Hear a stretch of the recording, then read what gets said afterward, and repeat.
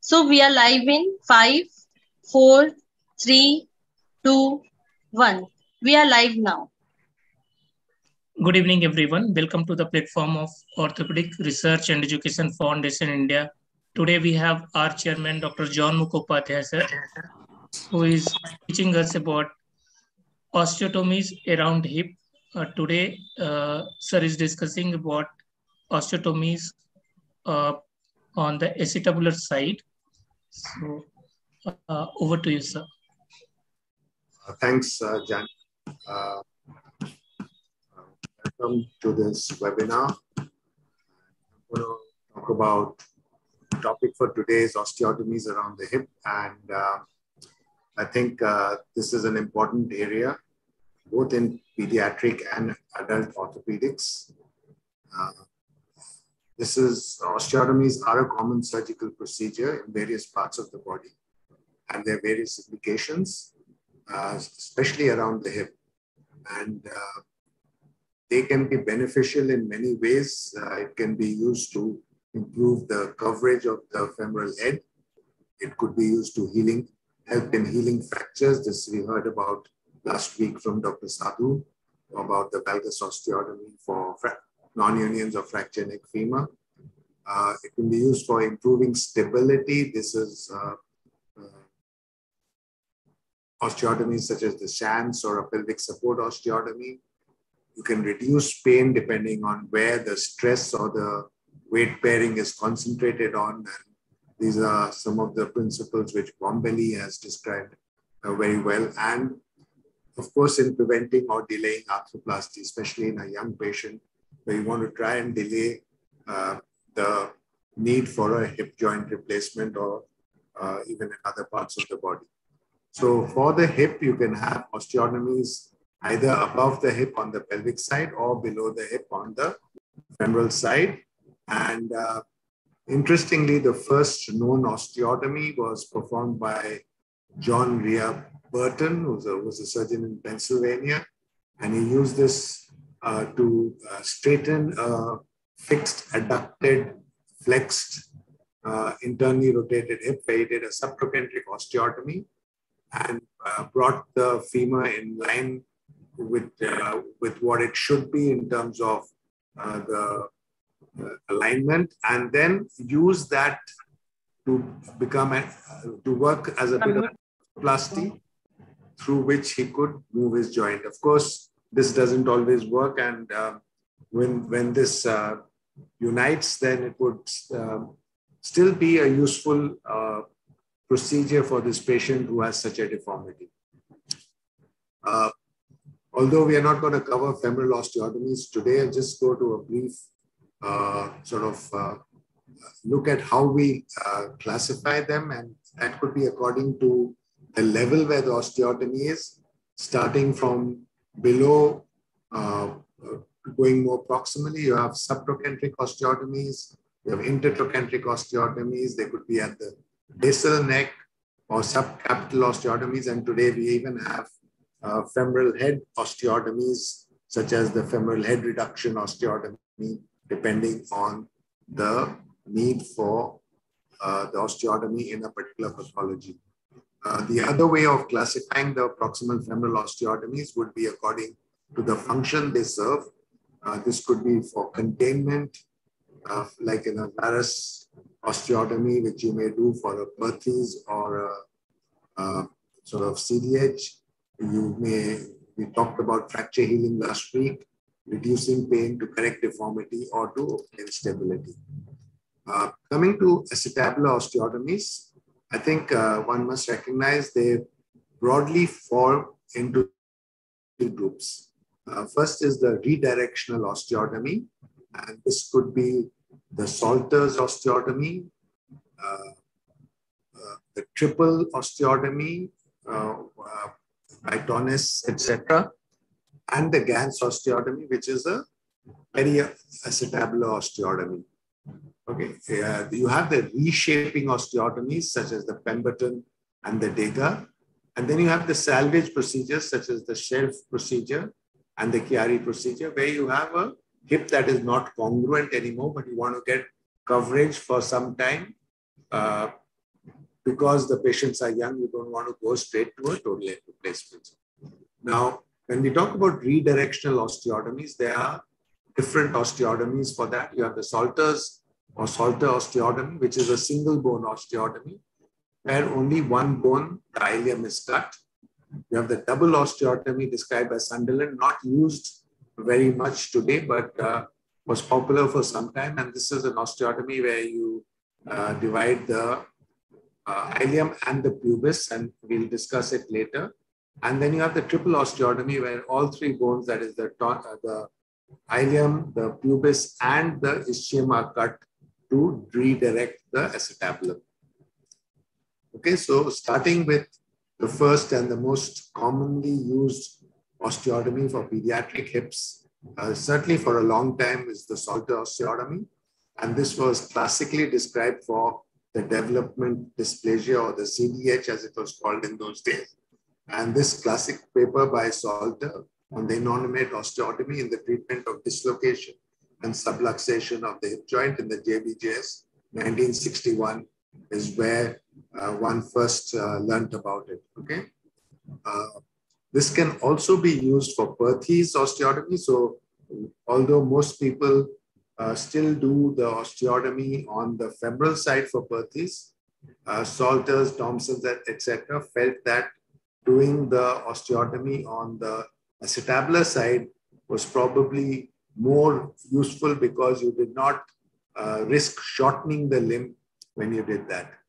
And there are also another, uh, so basically the Salter osteotomy is a redirectional osteotomy. So you change the direction of the acetabulum to improve the coverage of the hip. Okay, so and basically this covers the anterior and lateral coverage. It's ideally between the ages of 18 months to seven years of age uh, because you have to uh, hinge it on the pubic symphysis. Okay, so ideally the uh, symphysis pubis and the triradiate cartilage should still be open.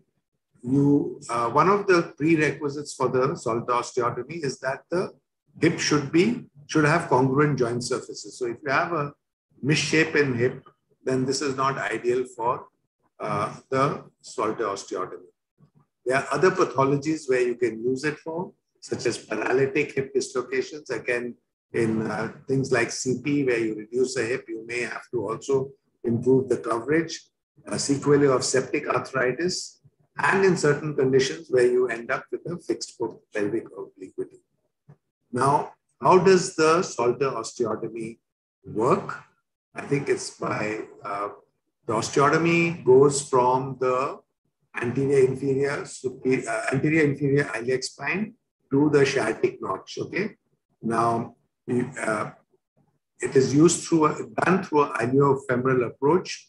Uh, class today mostly uh, we use a transverse incision just below the iliac crest, and uh, you need to strip the inner and outer table after dividing the uh, cartilaginous part of the iliac apophysis. Okay, so once you've done that, you strip the inner muscles on the inner table as well as on the outer table down to the hip joint. Okay, uh, and you have to go all the way from the uh, anterior part of the ilium to the sciatic notch because the osteotomy has to go right through. You first do your open reduction of the hip. That means you identify the uh, reflected head of the rectus femoris. You divide that then you go to the straight head at the anterior inferior spine. You tag that and divide it. And then you come on to the capsule of the hip joint, uh, the, which you need to uh, divide in a T shape uh, along the margin of the acetabulum and then along the neck, which is used to then reef the capsule once you've done your reduction. And you need to release the psoas tendon at the brim or just outside the brim so that all the tight fibers in that area are, are uh, sort of released. And then you need to come down to the acetabulum. Uh, at one time, people would excise the uh, labrum, but today uh, we tend to release the labrum and invert it because it's an inverted labrum. And if you invert it, it gives you a better coverage of the head. You need to get down to the acetabulum, clean it up of any tissue that may be there. The transverse acetabular ligament may be a sort of uh, uh, obstruction to your reduction. So you need to get a good concentric reduction of the hip, then reef the capsule over it. And then if you need coverage, you do the Salter osteotomy. So the cut is from the anterior inferior iliac spine to the sciatic notch. And once you've completed the cut, and classically we do that with a Gigli saw, or you can use a combination of uh, a, a, saw and an osteotome. But the Gigli saw is the safest one, which you pass through the sciatic notch and come towards the anterior superior, anterior inferior iliac spine. And then once you cut it, you as you rotate the limb into a figure of four position, the uh, acetabulum, acetabulum hinges on the symphysis uh, pubis and rotates to give you better anterior and inferior coverage. You end up having a gap on the anterior part, which you take a, a, bone graft from the iliac crest and put it into that and then fix it with K wires going across from the ilium through the graft onto the posterior part uh, behind the uh, acetabulum. So in the model, this is uh, courtesy Dr. James Rui, uh, where you can see the 3D reconstructed model. This is where your osteotomy would be from the sciatic notch to the anterior inferior spine. And then uh, you would take a graft, once you've done your correction, you take the graft from here uh, you impact the graft here and then you put this K wire through this part of the ilium into the graft, into this part of the bone towards the posterior part of the acetabulum. You have to be careful not to penetrate the acetabulum. Okay, so once you've done this, then you uh, cut these wires just under the skin and you have to put the patient in a spica, uh, which you, uh, and the wires are removed uh, at a later date when you're removing the hip spica for the child. Okay, so that is the basic uh, steps of the Salter osteotomy. Here's a classical example. This is a three year, six month old girl with a untreated uh, development uh, dislocation, uh, dysplasia of the hip with dislocation. And you can see the very vertical uh, line of the acetabular roof, okay? So what you would need to do is do an open reduction and then you need to do an osteotomy to get this down to give you a good coverage. So that's what we have done. Now you can see how nicely the acetabulum is covered. These are the two K-wires which are bent just under the skin so that they can be removed easily later. And this is a follow-up at 10 months and then again at 18 months. And this is uh, at four years uh, post-operatively. And again, you can see even at 18 months, how nicely the hip is covered. Okay, now uh, the advantages of the Salter osteotomy is that it corrects any ab uh, abnormal direction of the uh, acetabulum. It provides immediate stability of the reduction because of the graft, although you uh, have to put in K-wires here just to be sure that nothing slips. It does not alter the congruity of the acetabulum. So the shape of the acetabulum remains the same. It's just redirected. And the articular cartilage of the femoral head and acetabulum is in contact in the functional position of weight bearing. Okay, so that is what the advantages of the Salter osteotomy are. Okay, also the femoral head is better covered by the acetabulum, preventing degenerative changes, and stability permits early resumption of function. You also gain some limb length because a lot of these patients have some shortening. Secondly, if you have to do a femoral varus derotation osteotomy, which in the older child, you often have to combine it with uh, the osteotomy on the pelvic side, gives you some gain in the limb length, which you're losing on the femoral side. Okay. Now, of course, there are complications. You can get redislocation. Remember, it doesn't give you such a good posterior coverage.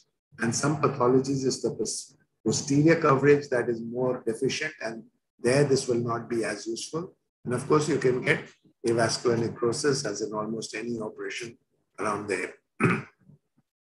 so in, uh, I think 1977, this paper came out from Sutherland, from San Diego, which is where they felt that by doing an osteotomy of the pubis as well, you got a much better rotation of the fragment. Okay, so what they did was the initial part was just like the Salter's osteotomy. So you cut through there, and then you made a uh, osteotomy of the pubis just medial to the obturator foramen. So the advantage was that you did not enter the obturator foramen, yet you were lateral to the midline structures which are important.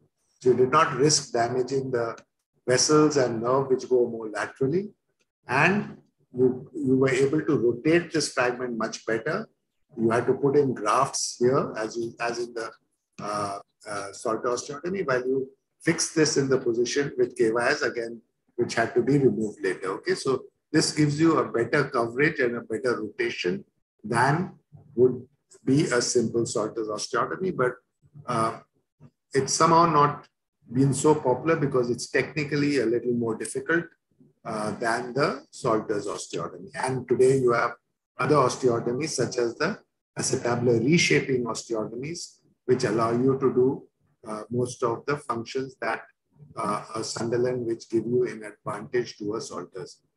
Okay, so you have this uh, group of osteotomies called the acetabular reshaping osteotomies.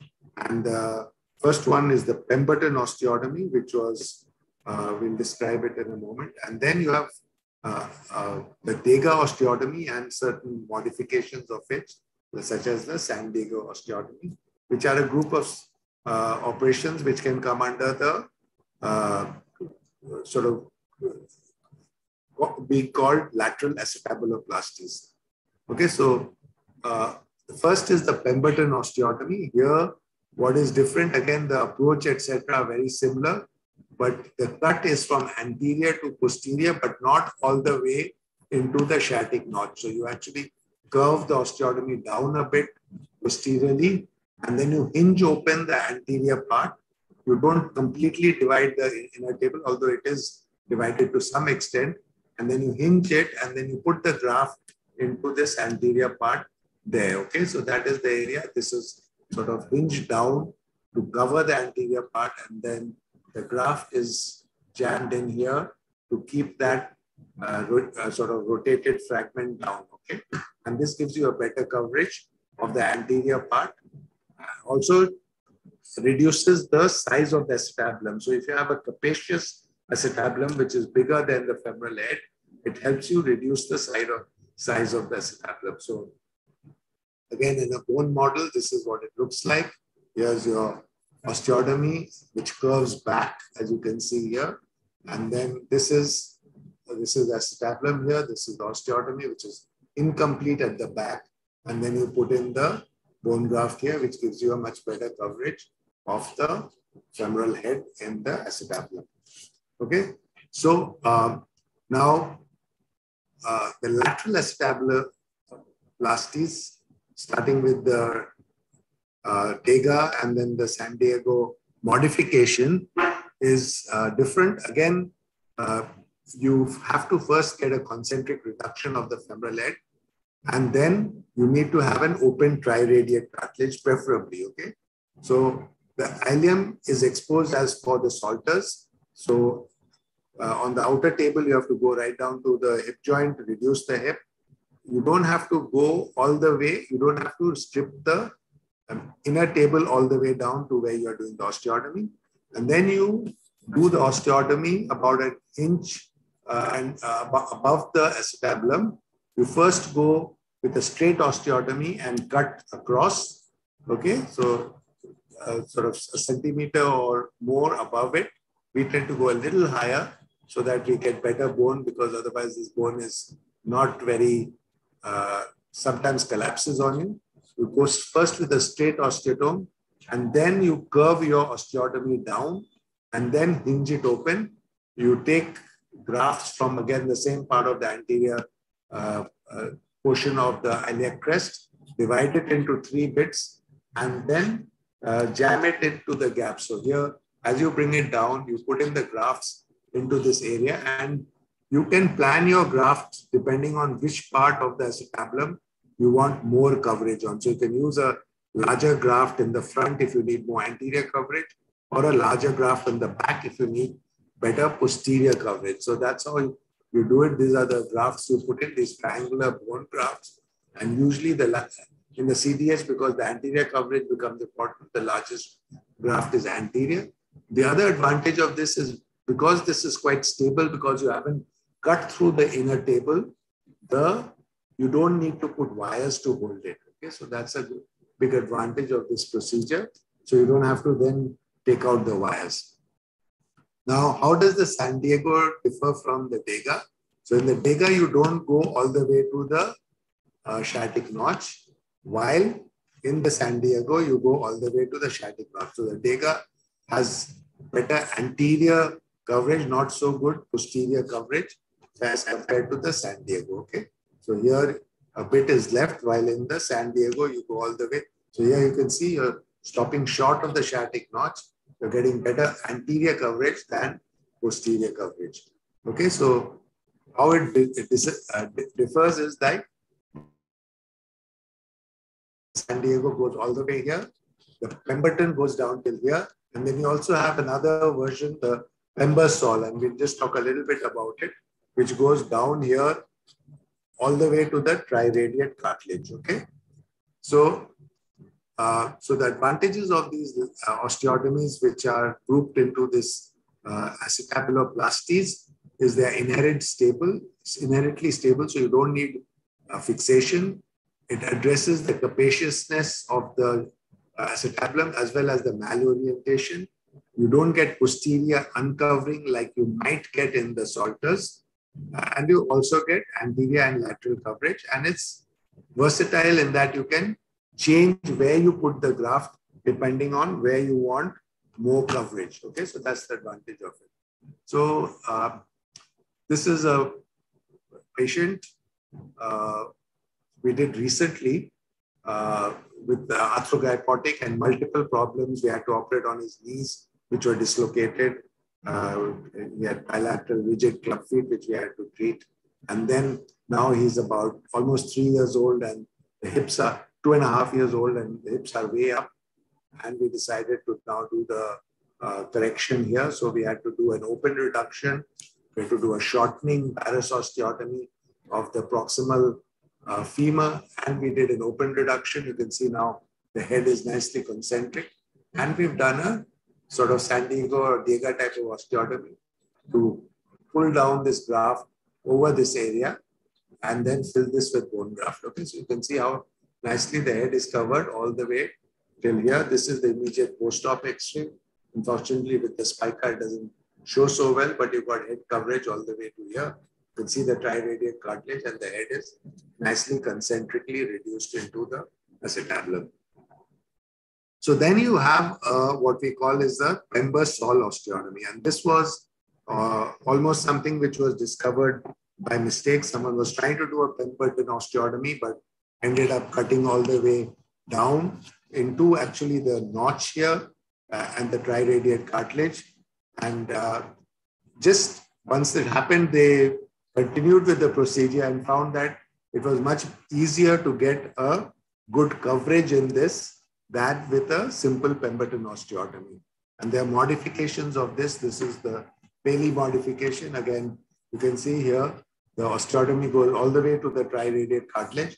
And then again, you do it the same way you put in the bone grafts uh, as you want to to cover the areas of the uh, acetabulum which are deficient. Okay, so this is known as the Pembersal osteotomy, which was a bit uh, what we call a serendipitous uh, development, uh, which happened when someone by mistake cut too far with the Pemberton osteotomy and then used it to improve the coverage he got for the head with his osteotomy.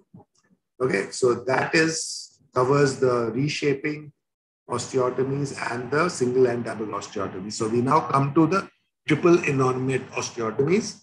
And this for the older child or the or young adults where uh, once the triradiate cartilage is uh, beginning to fuse and the pubic symphysis is no longer uh, possible to hinge on, you have to think of different ways to redirect your acetabulum. And this is a redirectional pelvic osteotomy where you have to divide all three parts of the you know, uh, sort of pelvic bone, which is the innominate, the pubis, and the ischium. Okay. And the idea is that you want to get better coverage of the hip to delay the onset of osteoarthritis. So ideally, it should be done before you have significant osteoarthritic changes. Otherwise, it's unlikely to be successful. And again, it was the triple innominate was first described by Le Coeur and then Hopf in 1966. This was modified by Steel and Tonnis in 73 and 78. And these were the two osteotomies, uh, especially the Steel, which became very popular. Uh, the difference between the Steel and the Tonnis is that the Tonnis has an oblique ischial cut closer to the acetabulum above the ischiosacral ligaments. So it gives you a slightly better acetabular rotation. Okay, now these are uh, photographs courtesy Dr. Alaric, Alagist, where the ischial cut has been done in a prone position with an incision there. Uh, it's important to confirm your ischial cut because it's a thick bone, uh, lots of ligaments, so you want to make sure it's mobile. So there is used a laminar spreader to check that his cut is complete before proceeding to the other parts of the surgery.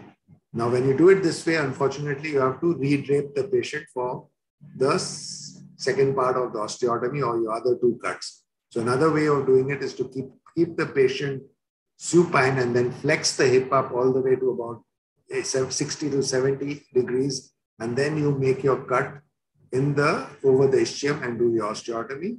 Uh, you have to be careful that the, there is no soiling from the anal area when you're doing this, okay? And then you go out and do your pubic cut and your uh, ileal cut. You can use the uh, anterior ilioinguinal approach for this. Or if you want, you can use two separate approaches, including, uh, so using a uh, sort of uh, anal stent incision for your pubic cut and a iliofemoral approach for your uh, uh, ischial, uh, for your ileal cut. Okay. Now here you want to avoid the figure of eight position. Uh, you need to pay attention to the transverse place rotation and avoid too much anterior rotation because here you have that and usually use a Schanz screw to try and get the head rotated into uh, a correct position. Try to avoid uh, over or under correction. So aim for a, a center edge angle of about 30 to 35 degrees okay? And then you have to fix it with wires or screws now. Uh, this is a child again, which we operated on recently. We had done an open reduction for a CDH many years ago. He was okay till about a year and a half after surgery. This was X-ray at that time. Then by the, another three years, you can see the head is drifting. And it was a time we suggested, he was about five and a half or six then, we suggested that he should have a, a Salter osteotomy, but that time uh, he was asymptomatic, so they delayed, and then you had the COVID uh, sort of pandemic, so that's delayed another two or three years. And he came to us recently at the age of almost 11 with this position. So we debated whether we would be better off doing a Chiari or we did a triple osteotomy, something like uh, a triple or a Ganz, whatever. So we decided on a triple osteotomy. Uh, and uh, this is what we achieved. So you're able to get the hip into the stabler and get a reasonably good stabler coverage. Uh, and the osteotomies were, that was where we did the pubic osteotomy and that's where we did the ischial osteotomy. Okay, so uh, eventually, again, this is early days, so we don't know how he does it follow up. Uh, last, we come to the periacetabular osteotomies, which was described by Ganz uh, in Bern, also known as the Bernese osteotomy. And the main idea of this is to bring these osteotomies closer to the acetabulum. Okay. So the advantage of this is you reduce any secondary deformities, you reduce problems with soft tissues and improve the ability to correct. Okay. So the periacetabular osteotomy goes very close to the acetabulum on all the sides. And then you correct it and you fix it with these screws, which gives you a very stable fixation uh, the, this is done in older uh, sort of adolescents or in young adults, okay? So the approach can be either through a modified Smith-Petersen approach or an anterior uh, ilioinguinal approach. What's different in this is that you do a stripping of the inner side of the acetabulum. Try to avoid stripping all the abductors so that you're not affecting the power of the abductors. Now, the sequence is you start with the ischium. Again, like I said, we do it in the supine position with the hip flex to 60 to 70 degrees. You go between the medial capsule and the obturator externus. you need to have these special osteotomes notched, which you can cut just below the acetabulum here. So you put quite high, just below the acetabulum, and you cut through the ischium, and you don't go all the way. You just leave a little bit of the bone there, okay? Then you do the pubis. Again, pubis is done close to the acetabulum. So you have to really be careful of the femoral nerve and vessels and also the obturator nerve when you do this. Okay, so be careful about that. And this is just medial to the acetabulum. And then you do your first part of your ileal cut, which is again uh, just above the acetabulum. You go down and then go back and then start going down towards your ischial cut. Okay. So as you go down towards your ischial cut, you do the last bit of your osteotomy, which is the final ilium ischial cut, which by that time you put in a Schanz screw, you gradually cut. As you get close to your ischial cut, you use the Schanz screw to gently lever out this acetabulum and get it into position. So the last bit is more or less broken with the Schanz screw in place. And then you get the correction, get, you get 20 degrees anterior and lateral correction, avoid external rotation. If you do under correction, obviously there'll be progression of the osteoarthritis. If you do too much correction, then you're going to get impingement. So these are the things to watch out for. Uh, the complications are there which you need to watch out for, things like nerve injury, joint penetration, avascular necrosis of the acetabulum. You can get non-union of your osteotomy because you're cutting all the way around. Uh, you can get stress fractures and abductor weakness, although you're trying to your best to avoid that because of all the dissection you might get abductor weakness. So these are the things you need to watch out. Um, there are ways of uh, today some modifications like minimally invasive techniques for this and neural monitoring so uh, to prevent neuro neurological injury during surgery. Lastly, we come to the salvage procedures. And this is the includes the shelf procedure and the Chiari osteotomy. And this is for coverage of incongruous joints. So what you do in the shelf is you leave the so the hip is in joint but is incongruent. You but and is uncovered.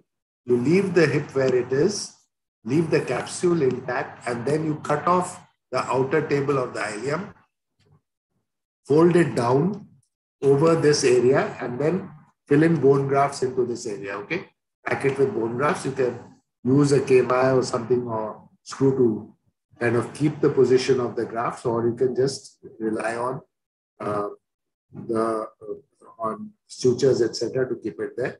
And this gives you better coverage, but your joint uh, is already a little arthritic, and uh, but it will help you prolong the natural life of the hip joint and the last is the Chiari osteotomy, where you cut just above the acetabulum and actually medialize the, this is just outside the capsule, medialize the uh, inner part, the lower part, and or lateralize this part so that this gives you coverage over the head, and then you put in wires or screws to fix this.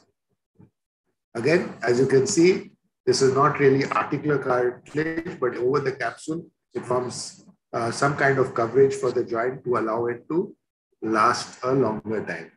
Okay, so these are the salvage procedures where the hip has already become incongruent or the congruency is lost uh, and you are trying to salvage the joint for some more time. So I think, uh, remember that osteotomies are among the earliest orthopedic procedures, okay, but are still very relevant today You need to usually plan for them very carefully. It can help us to retain the natural hip joint for many years uh, before we need to go on to a joint replacement and can also help us as a salvage procedure to delay the need for a total joint arthroplasty. So thank you very much. I'll take questions now. Uh, I think uh, that's the reason I decided just to do acetabulum today. We'll do the femoral part of the osteotomy at another time because otherwise it would be too much to cover and we'd be just rushing through it all. Yeah. Thank yeah. you so much, sir. I think uh, most of the thing uh, in acetabular osteotomy is uh, if our DNB have any, they can ask here. Uh, meanwhile, sir, uh, about the reshaping osteotomy, uh, that what I have understood, when the child is immature, means uh, when they are, uh, that one uh, is cartilaginous, bone is cartilaginous, or that is it so, sir, or so they are still need they. I mean, you still need to be able to.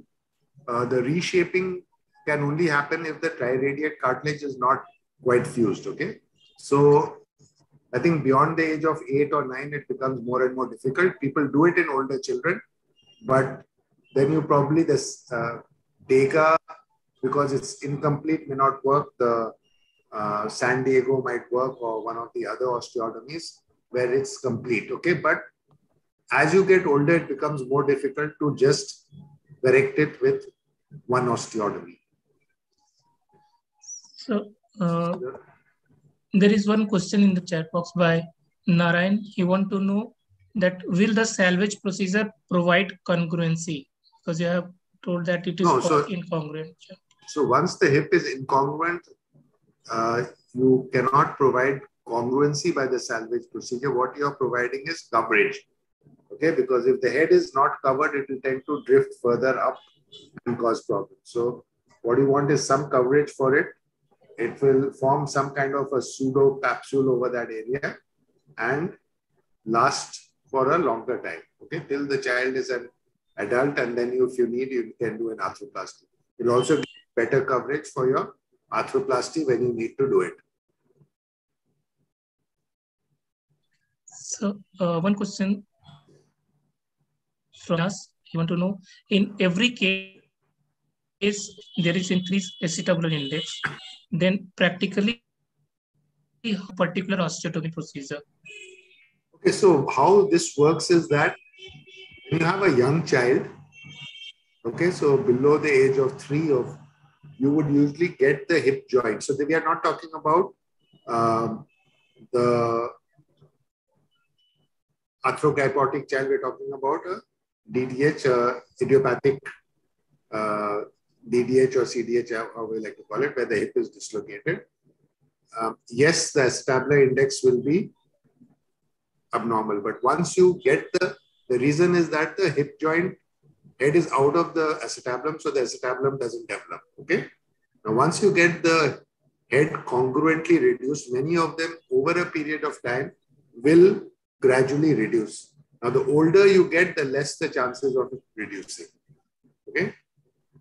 So as you get older, so that's you decide based on once you've done your open reduction, how well the head is covered, and if there's any deficiency in the coverage, you would be uh, you would do your acetabular procedure at the same time. If you get a good coverage once you got the head in, then usually you would wait and see how the acetabulum develops. But if it doesn't develop, then you need to do an acetabular site procedure. Uh, in the younger child, if you find that uh, you're having to abduct the limb a lot to keep it nicely reduced, you would do a varus derotation or varus osteotomy. Okay, so if you're having to internally rotate and, and abduct the hip, then it makes sense to do a varus derotation osteotomy. So you would varicize the femur and also externally rotate it so that in a neutral position, the head is nicely in. Okay, so you would do it on the femoral side. Now, as the child gets older, you would have to do both. So you would need to sometimes even shorten the femur because you don't want it to go in with a lot of pressure or tension on the head because that will increase the risk of AVN.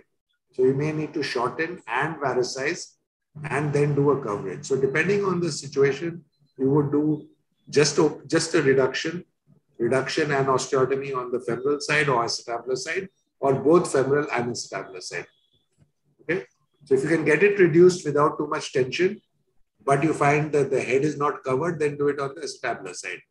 If you find that it's if there's too much tension when you're trying to reduce, you need to shorten or derotate uh, or varicize the femur, you do that, and then look at the coverage and decide if you need to do the acetabular side as well.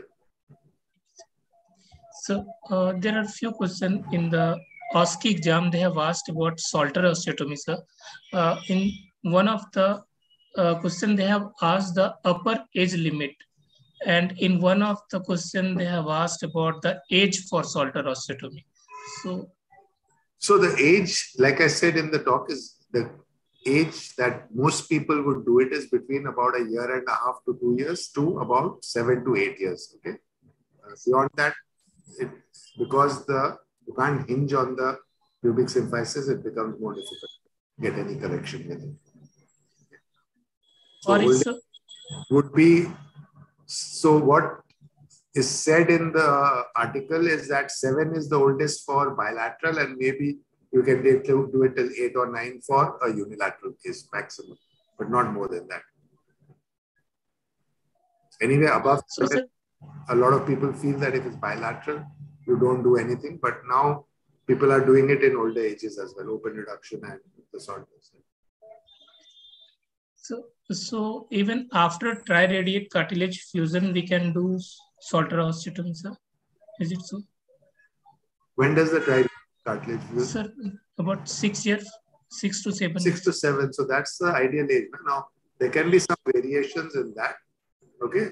The hinging is actually around the symphysis, not so much, although you need an unfused uh, to bring that down, but the hinging is actually around the pubic symphysis. It also again starts getting more fibrotic as you get older.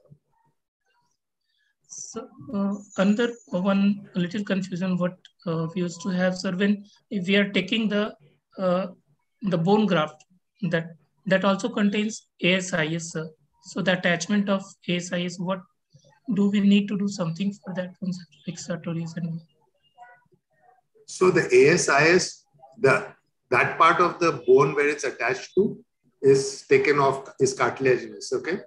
So you're dividing the cartilage and splitting it on either side, or you're taking it off onto one side. Okay. We tend to split it and take the inner table in and the outer table out. So the attachments of these muscles are to that. Okay.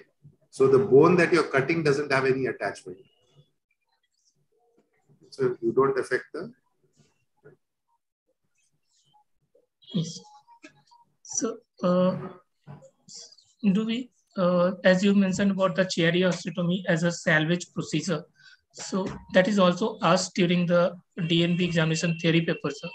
So uh, what is the difference? Because that is also a reshaping osteotomy usually. No, no, no. There you're not doing anything to the acetabulum, okay?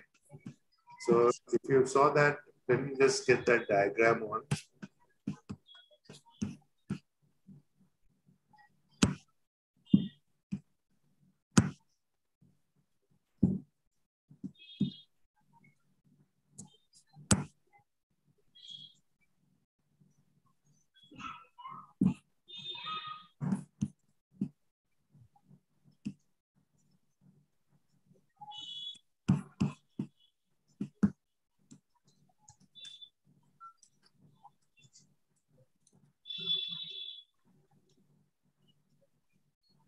Can you see that? Yes, sir. Okay, so here's the acetabulum. Acetabulum ends here, okay? Yes. So this is the acetabulum. So you're not cutting, you're cutting above the acetabulum and you're medializing the acetabulum or lateralizing this proximal part. And this is what is giving coverage to the head. And the capsule remains there, okay? So you're not dividing the capsule in this case. You're not going into the joint at all. Okay, so it just gives you coverage Okay. Now, over a period of time, this will unite and you'll have better coverage. So later on, when you want to do a hip joint, you, you will have a better coverage for the hip joint. Okay. But you're not actually doing anything to the, you're not reshaping the osteo, the acetabulum per se. Okay. So uh, we can consider it as a salvage procedure. So this yeah. one, uh, displacement also. So there's there's another. There's actually a, a Japanese uh, procedure called the tectoplasty, which is like a extended shelf. They take almost a huge part of the outer table of the iliac crest and bring it over the head for neglected cases which are left out, okay, or partly out. So, so it's like an extended shelf. You take a much bigger part of the ilium and bring it over and then pack it with bone grafts. So they call it the tectoplasty. Okay? But it's not something that is used very much in the West. So uh, you have mentioned in your talk, sir, about the uh, usually the deficiency of the acetabulum is posterior. Why so? No, no, I didn't say that. The, the I said that this uh, deficiency may be posterior depending on the pathology. Okay. Now, Salter gives you good anterior and lateral coverage, which in the CDH is usually the problem. But there are other pathologies where the posterior coverage, like some of the CPs, etc., where you need posterior coverage as well. Okay. So that this is not going to work for that. Okay. As well for that. Most CDH, etc., the anterior coverage is what you need. Okay? So, so for those cases, Dega's osteotomy is okay, sir. For yeah, so Dega or a San Diego modification where you can go further back and then you can get, depending on the size of the bone graft, you can get more coverage posterior or anterior depending on the pathology. So, uh, in the initial slide, sir, you have mentioned a few slides like fish osteotomy and a Dunn osteotomy. So, what are those? Uh, those come into the femur, femur part of it. Okay. okay. The next time. Okay. Mostly for slipped upper capital epiphysis. So uh, there are uh, questions from Dr. Subhansu. He want to know that C angle. Please elaborate. And uh, I think you angle. have to read read that. Okay. Yes. These are things which are there in the books and uh, everywhere. I think you can't be lazy. You need to read that. Okay. Yes. Okay. And uh, sir, like uh, what are the uh, although you have uh, explained about the approaches uh, the common one uh, like salter osteotomy. So we can do by this anterior approach smith petersen. Or so it is always a anterior approach. It's a modified smith petersen approach is the uh, in the incision is what what was described by somerville which is a transverse incision. So you Smith Petersen has two limbs, okay, a transverse limb and a vertical limb, which goes down. Here you just go transverse slightly below the uh, uh, iliac crest, okay, a centimeter below, and so it's a transverse incision, so you don't have a scar extending down, okay. So this will be covered by the bikini for girls and things like that. Uh, they're swimming transfer. The scar is not visible and prominent. And because that is along the Langer's line, it tends to heal better as well. So uh, when uh, we're doing the combined procedure with the femoral osteotomy and uh, uh, side, uh, can we uh, combine both approaches into one, sir, or we have to take separate? Yeah, so you can use the full iliofemoral approach as described by Smith Petersen. Take it vertically down onto the femur. Or we prefer to use two separate incisions because that way you have a gap in between. This is right on top, this is at the bottom. But you can use the full iliofemoral approach, which will lead you down to the femur. So uh, you have mentioned about the shortening in DDH cases, so in the femur part. Uh, if we are not able to if we are not doing the shortening, sir, is it increases the chance of AVN? Is it so? Sir? I just mentioned that, didn't I? That it depends on how much tension you're having to reduce it. Okay, if you're having to reduce it and it's very tight, then the risk of AVN goes. If you're having to reduce it and keep it very abducted, then the risk of AVN increases. You heard of the safe zone. Okay, so you should be able to get a good concentric reduction within the safe zone even after surgery. That's ideally described for closed reduction, where if the hip is stable in the safe zone, then you can treat it conservatively. Okay.